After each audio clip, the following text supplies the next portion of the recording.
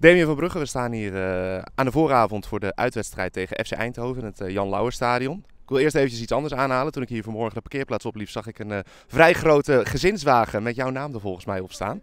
hoe gaat het met de kleine? Ah, goed, goed. Ja, gaat goed. Slaapt goed, eet goed. Dus nee, mooie periode. Wel een vermoeiende periode, maar wel, ja, wel heel mooi. Is het dan ook lekker om hier op de voetbalclub gewoon lekker je ei kwijt te kunnen?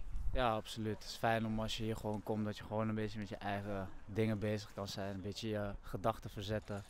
Gewoon uh, ja, een beetje ontspanning ook eigenlijk is het meer. En dan thuis uh, wacht de kleine denk ik altijd op je? Ja, thuis staat hij te wachten. Ja. Moet hij weer eten. Moet hij weer, uh, dus dat is wel, ja, dat is wel wennen. Ja. Je komt niet meer thuis, je kan je eigen dingen doen. Maar als je thuis komt moet je gelijk, gelijk weer aan de bak.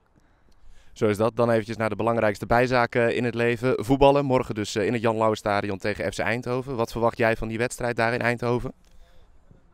Natuurlijk gewoon uh, een belangrijke wedstrijd voor ons. Ook voor hun. Dus ik uh, ja, verwacht gewoon een goede wedstrijd. Ik denk uh, als je de wedstrijd hier thuis neemt dat het wel redelijk wel een evenwicht was.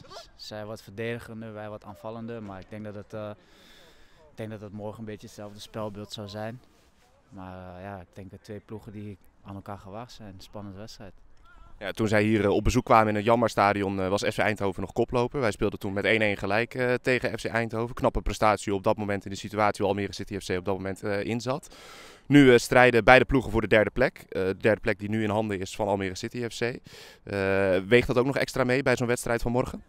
Mm, nou ja, de plek op de ranglijst niet zozeer. Het is meer gewoon van ja, je wil zoveel mogelijk punten pakken. En nou ja, dus morgen moeten we ook weer winnen. Vorige week uh, speelde je niet mee vanwege een schorsing uh, na een rode kaart die oploop, opliep in de uitwedstrijd tegen, tegen Telstar. Uh, ben je blij om morgen weer aan de start van de wedstrijd te verschijnen? Ja, absoluut. Het was balen ook. niet zo'n hele handige actie natuurlijk. Dus ik baalde ook gewoon een beetje van mezelf, ondanks dat we gewonnen hadden. Ja, vorige week was het gewoon lastig als je dan op de tribune zit. Dan zit je zelf een beetje te verbijten. Maar ik vond dat we het eigenlijk uh, ja, best wel gewoon prima hadden gedaan. En, ja, als je je kansen niet afmaakt en uh, de tegenstander die de kleine uitbraakjes die ze hebben, dan uh, scoren ze gelijk. Ja, dan wordt het moeilijk. Maar ik denk dat we het vorige week ook goed hebben gedaan. Dus we moeten morgen gewoon weer op die, op die fiets verder. Ik had het er onlangs met Jorrit Smeets ook over. Die was ook geschorst na een rode kaart in de wedstrijd tegen Pek Zwolle. jij was nu geschorst naar een, rode of, naar een rode kaart in de wedstrijd tegen Stelstar. ben je zenuwachtiger als je op de tribune zit dan, dan als je op het veld staat?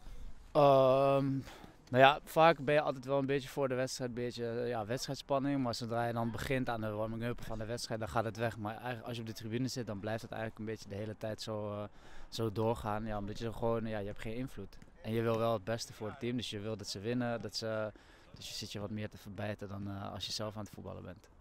Veel succes morgen tegen Eindhoven.